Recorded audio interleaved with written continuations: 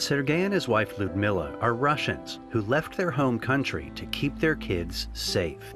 As a mother, I wanted to protect my kids and give them a better future, but also make sure this transition wouldn't traumatize them. It was horrible watching this war escalate between people who speak the same language. We had no idea how things would develop, but we knew we had to leave. Because Sergei is Jewish, they decided to immigrate to Israel. When they got there, they faced some challenges. I had to drop down a few levels in my work, so the pay was not enough to build a new life.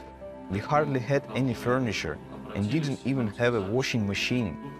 We wanted to make our kids' living area comfortable, but we couldn't afford it.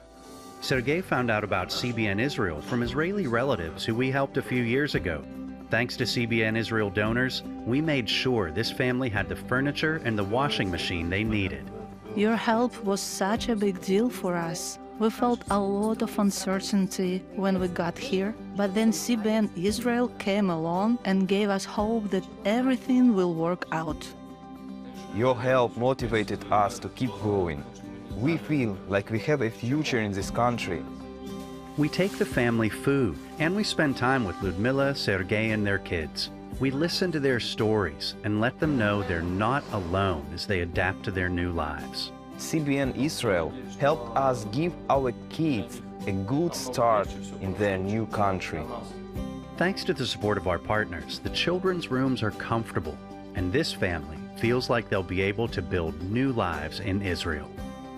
Thank you for doing these good deeds. It is very touching to know there are people who care so much about families like ours.